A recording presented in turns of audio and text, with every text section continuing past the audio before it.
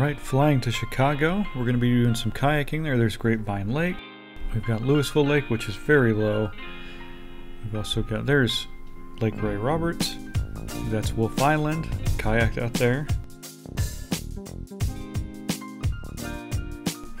Uh, lots of colors. You don't get that too much in Texas. There's a Sears Tower for the first time. Got to Chicago.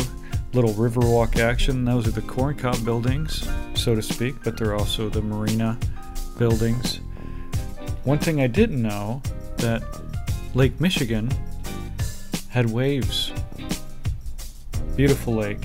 It was about 40 degrees. We came from Dallas, which was about 70 ish degrees. A little bit of a temperature shock. They do kayak out here, they do have kayak rentals. We're planning on kayaking in the river, Chicago River, in Chicago. It's called Chicago Kayaks. But I mean, it's just amazing the views you get on the beach. Being from Texas, it's amazing to see all the different colors, just beautiful scenery that Chicago has to offer. Beautiful buildings as well, and food. I do love deep dish pizza now. I'm a fan.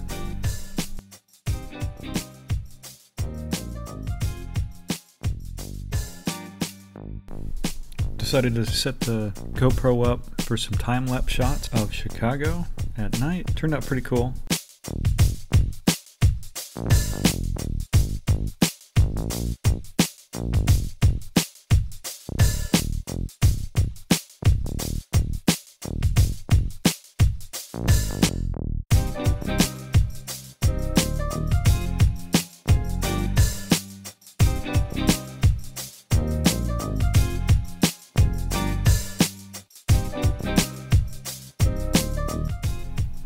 With the agenda jam packed full of other things, we didn't have a ton of time to kayak, but we did find a place that was open. It's called Kayak Chicago. It goes around this little island here called Goose Island. Pretty neat little experience.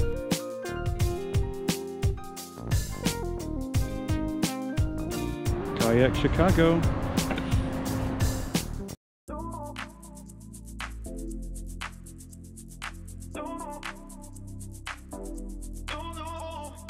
So I have to admit that I was extremely nervous. There was some big boats kind of passing through. They're not too big, but the wake that it was throwing off was a bit much. But once I got out here, moving, I felt right at home. It was a great day to be out too. It was about 60 degrees from 40 from when we landed.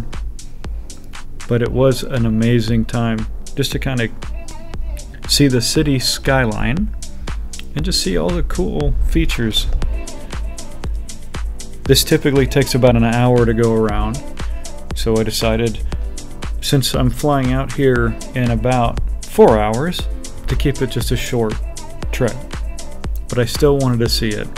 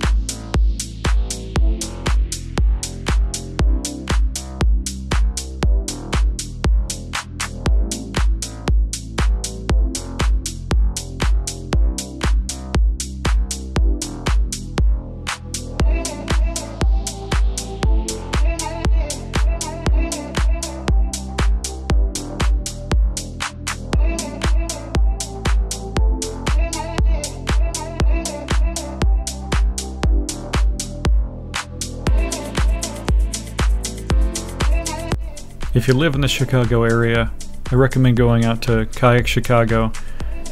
The people are so friendly and amazing. We had a great time. It's just beautiful scenery.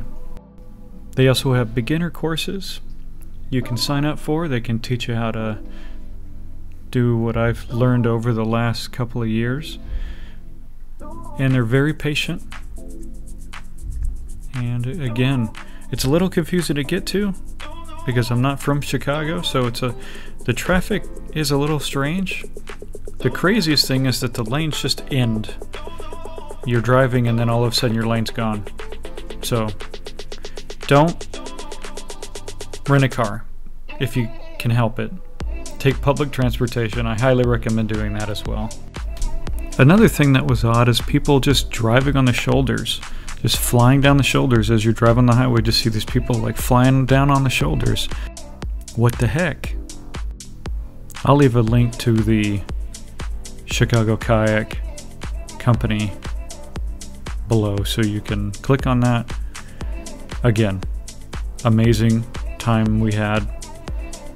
And again, as always, I do appreciate and thank you for watching.